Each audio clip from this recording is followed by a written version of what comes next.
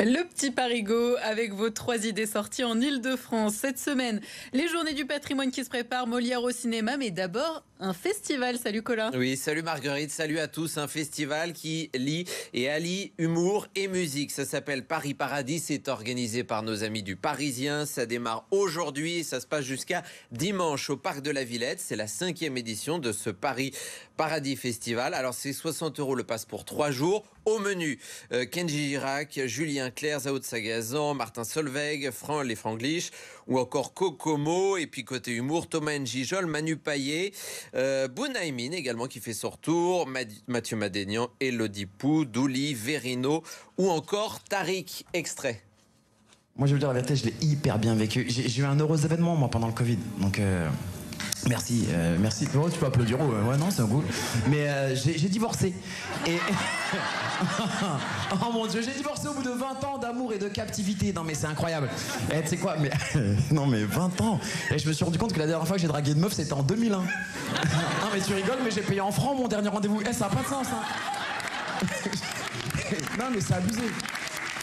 Eh, tu sais, quand tu restes longtemps en couple comme ça, tu sais, tu perds tous les codes. Eh, je me suis retrouvé sur le marché de l'amour. La première meuf que j'ai draguée, j'ai dit salut Miss. Elle me dit on dit plus ça, c'est fini frère. Voilà pour Tariq. Alors, ouverture des portes, c'est à 18h aujourd'hui, avec notamment ce soir au programme Martin Solveig. Mhm, prestige. On poursuit avec euh, du théâtre, mais au cinéma. Oui, Molière au cinéma. C'est le nom d'un autre festival, celui-ci organisé par la Comédie Française. Ça a démarré mercredi et ça dure jusqu'au 17 octobre. Alors, qu'est-ce que c'est? Eh Bien, c'est la Comédie Française qui vous donne rendez-vous au cinéma pour un festival entièrement dédié à Molière. Six spectacles diffusés sur grand écran.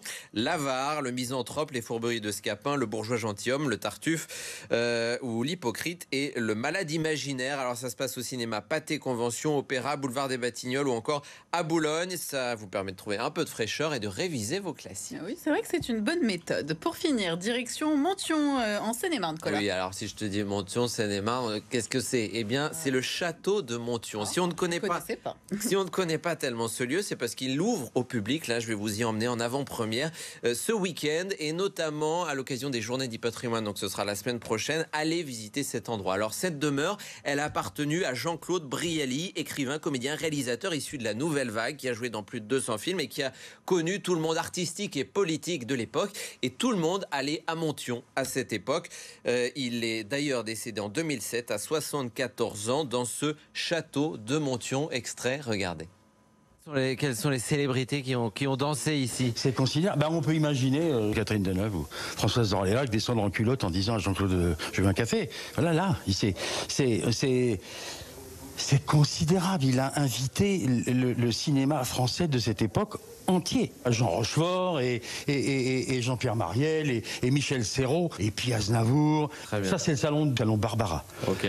Il habitait à 20 km d'ici. Il a acheté. Il jouait pas de piano. Bruno Fink non plus. Personne autour de Brielle jouait du piano. Donc il est dans un coin. C'était que, pour Barbara qu'elle vienne le dimanche. Ici, petite bibliothèque. Petite, bibliothèque. Qui paye pas de mine. Ici, ça l'a mangé. Ça l'a mangé. Neuf places possibles. Pas une de plus. Maximum. Eh bien, ça, c'est une bonne astuce pour pas recevoir trop de monde. Je n'ai que neuf places à table. On est invité le vendredi. Oui. Pas tôt du tout. Il mangeait, il aimait bien le foie gras et il aimait bien les côtes d'agneau. Voilà. De temps en temps, il faisait un couscous, il allait chercher la tasse. Eh ben, il aurait très bien pu nous inviter. Mais c'était une très bonne idée. Marc. Ça donne faim. C'est quand ça retrouver en intégralité ce soir à 21h45 et demain toute la journée dans Parigo. Merci.